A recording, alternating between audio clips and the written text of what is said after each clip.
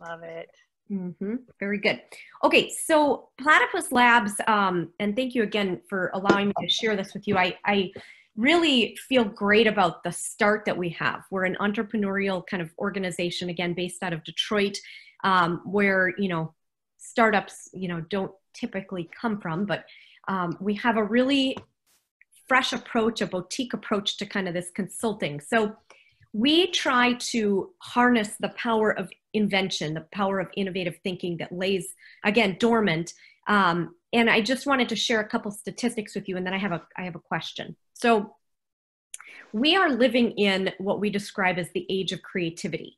Um, we really and truly believe that this is the only thing that allows us to be um, to have a competitive advantage. It allows us to be able to foster growth. It allows us to retain talent and attract talent because it's a very powerful force and very rewarding. So, just a couple of statistics. McKinsey did a study recently that they have the prediction that by the year 2030, up to 800 million jobs will be lost due to automation globally. So in the US, this translates to about 80 million jobs. So again, creativity becomes that one thing that can make the difference as we look at AI, robotics, whatever, whatever will, you know, transition and, and uh, displace jobs.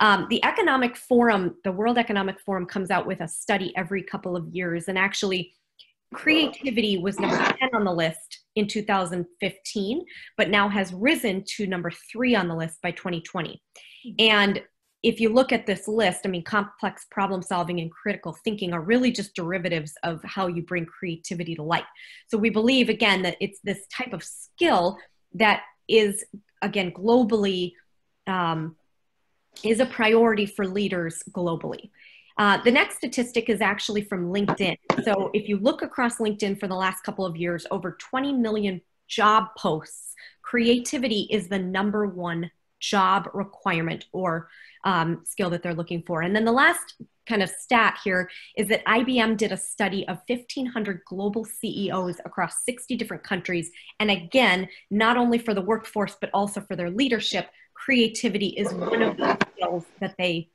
require that they need to have. So um, I think, you know, one of the things that creativity people it makes it's kind of a squishy topic. It makes people uncomfortable. People kind of squirm in their seats as i talk to business professionals. Um, and not all creativity is is um, i would say created equal. So as we set up the definition so imagination is kind of that childlike um, ability to imagine things that don't exist in the world today. Uh, creativity is when you take that imagination and apply it to an opportunity. An invention is certainly lovely. You're creating something new in the world, but it's not until you have something that provides value that you have an innovation. So this is something that you know the world needs or something that people will pay money for. There's value, an inherent value in what you're creating.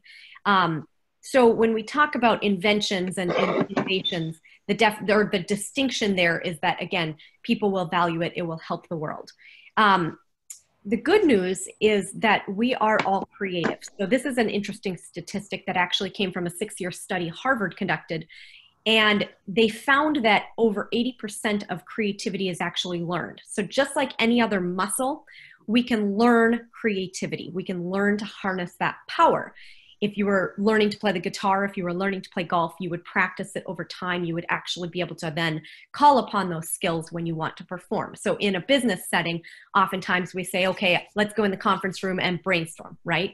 Let's have this brainstorm where we're all going to come up with solutions. But we haven't practiced that skill of creativity over the years in order to be able to have the full potential um, in this same study actually and it culminated in a wonderful book called innovators dna if you're at all interested. It's it's really terrific. But they targeted they they found the top five skills the common skills that the most creative people on the planet possess. And i won't go through these in length but um, i think it's fairly interesting. So associating um, bringing disparately different topics together. So somewhere along the line someone said chocolate and peanut butter. Those would go great together. Um, observation. This is having that heightened sense of awareness. Um, a lot of times we just become very productive you know individuals where we're getting things done and we don't allow ourselves the time to have that inspiration seep in so that we can bring in different ideas and see what others are doing in the world in order to um, help our solutions um, experimentation is just being comfortable with that pivot learn type philosophy. So constantly tinkering trying to find new approaches not afraid to fail. And i would say oftentimes our corporate cultures have you know really suppressed our creativity because they cause us to fear uh, newness um, the next one is networking. So this is not handing out business cards, though of course that's important too. This one is actually seeking divergent viewpoints. So talking to an artist, talking to a musician, talking to a professional athlete or a physicist, bringing in different ways that other people will solve the problem or look at your challenge with fresh eyes. Um, and then questioning. This is just questioning like a child would. I mean, we all probably have had children in our lives. They ask, you know, an insanely an insane amount of questions.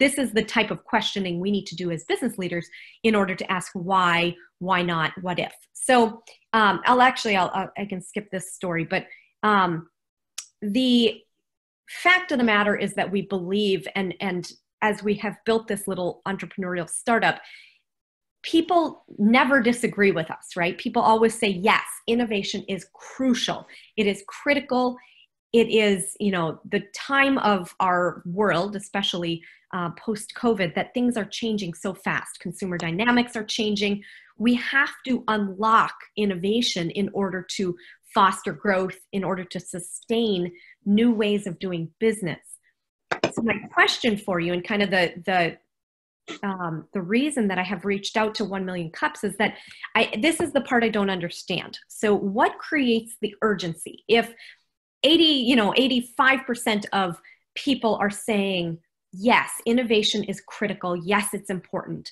What makes a business leader what makes a, a you know a, an organization say now is the time that we have to invest in this type of effort. Now is the time where we actually have to say yes this is an important long term program for our future to actually invest in building innovation into our dna so that's the question that that i'm trying to solve. I, I don't um, i don't know the answer yet. I think i'm still trying to figure out why someone would say this is important. This is something